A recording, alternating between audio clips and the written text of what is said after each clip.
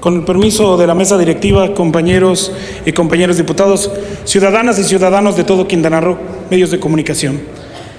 Ante la presencia del coronavirus en el mundo, en nuestro país se fortalecieron las acciones de los tres órdenes de gobierno para darnos protección.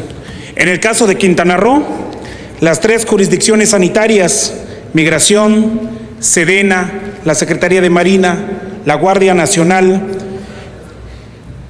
el IMSS, el ISTE, la Secretaría de Turismo, hospitales privados, autoridades administrativas de puertos, aeropuertos y compañías que mantienen operaciones en instalaciones con flujo de pasajeros y tránsito internacional activaron protocolos de seguridad de salud.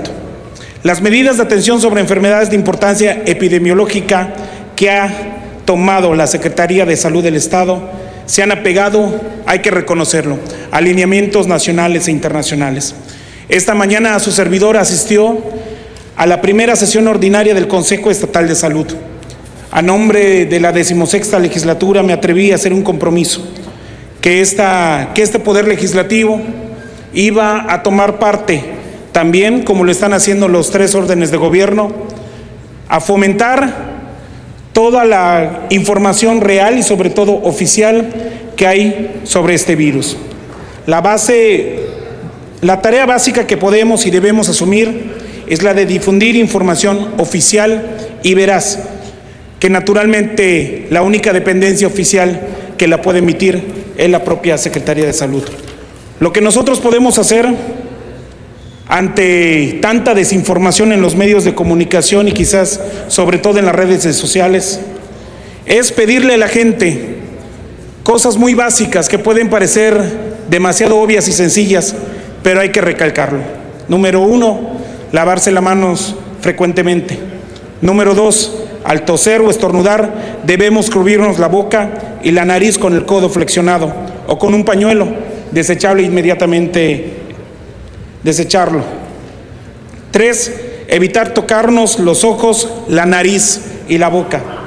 Cuatro, si hemos viajado a países donde hay brotes del coronavirus y tenemos fiebre, tos y dificultad para respirar, solicitar atención médica inmediata. Y cinco, limpiar y desinfectar superficies y objetos de uso común en casas, oficinas, sitios cerrados, transporte público, etcétera.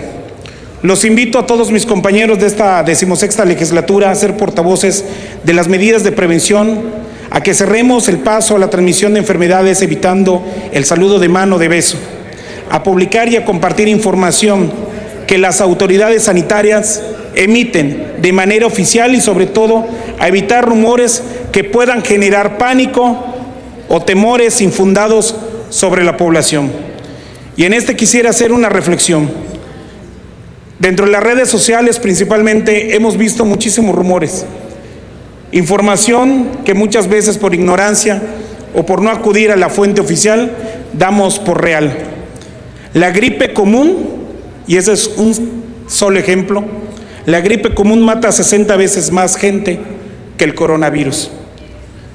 Quiero pedirle a los integrantes de la Junta de Gobierno y Coordinación Política de esta decimosexta legislatura aprueben promover acciones para difundir en los medios de comunicación las medidas de prevención, en los medios de comunicación oficiales de este Poder Legislativo y que juntos nos convirtamos también en portavoces de sobre todo información veraz, oportuna y real. Muchas gracias y muy buenas noches.